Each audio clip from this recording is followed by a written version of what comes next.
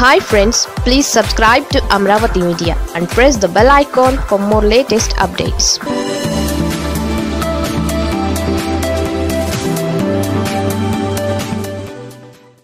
BJP versus YCP ఏది తోక party? Bharatiya Janata పార్టీని తోక పార్టీగా అభివర్ణించారు మంత్రి సీదిరి అప్పలరాజు. మంత్రి గారి వ్యాఖ్యలు సహజంగానే బీజేపీ నేతలకు ఆగ్రహం తెప్పిస్తాయి. తెప్పించాయి కూడా. ఏపీ బీజేపీ అధ్యక్షుడు సోము వీర్రాజు మంత్రి సీదిరి అప్పలరాజు తీరుపై గుస్సా అయ్యారు. తోక పార్టీ మాది కాదు మేం పద్దెనిమిది రాష్ట్రాల్లో అధికారంలో ఉన్నాం. మా పార్టీ పెద్దల దగ్గరికి వెళ్ళి మీరు వంగి వంగి దండాలు పెడుతున్నారు. మీది తోక పార్టీనా మాది తోక పార్టీనా? మీ తోకలు కత్తిరించే రోజు త్వరలోనే వస్తుంది అంటూ సోము వీర్రాజు తీవ్రస్థాయిలో విరుచుకు పడిపోయారు. ఇంతకీ తోక పార్టీ ఏది?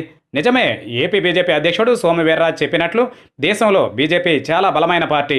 ఇందులో ఇంకో మాటకు తావులేదు. కానీ సోము వీర్రాజ్ అంటున్నట్లు వైసీపీ నేతలు బీజేపీ పెద్దల దగ్గర వంగి వంగి దండాలేమీ పెట్టడం లేదు.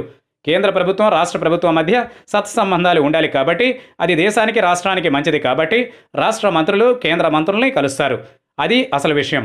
ఈ మాత్రం పరిజ్ఞానం కూడా ఏపీ బీజేపీ అధ్యక్షుడు సోము వీర్రాజుకి లేకపోతే ఎలా? ఏపీలో బీజేపీ తోక పార్టీనే. ఎందుకంటే సొంతంగా ఆ పార్టీకి రెండు సీట్లు కూడా వచ్చే పరిస్థితి ఆంధ్రప్రదేశ్ రాష్ట్రంలో లేదు. అసలు డిపాజిట్లైనా వచ్చే ఎన్నికలలో బీజేపీకి వస్తాయో రావో డౌటే. సరే రాజకీయాల్లో గెలుపోటములు అనేవి సహజం అనుకోండి అది వేరే సంగతి. రాష్ట్రానికి సంబంధించిన కీలకమైన అంశాల్లో కేంద్రాన్ని ఒప్పించలేని అసమర్థత ఏపీ బీజేపీ నేతలది. విశాఖ స్టీల్ ప్లాంట్ ప్రైవేటీకరణను ఆపగలుగుతున్నారా? ప్రత్యేక హోదాని తీసుకురాగలుగుతున్నారా? అంతెందుకు? మిత్రపక్షం జనసేనతోనే రాజకీయ సఖ్యత కొనసాగించలేని దుస్థితి ఏపీ బీజేపీది. చంద్రబాబు ఎలా ఆడిస్తే అలా ఆడుతోంది బీజేపీ అనడానికి సాక్ష్యాలు చాలానే కనిపిస్తున్నాయి. మరి బీజేపీ తోక పార్టీ ఎందుకు అవ్వదు అన్నది వైసీపీ వాదన.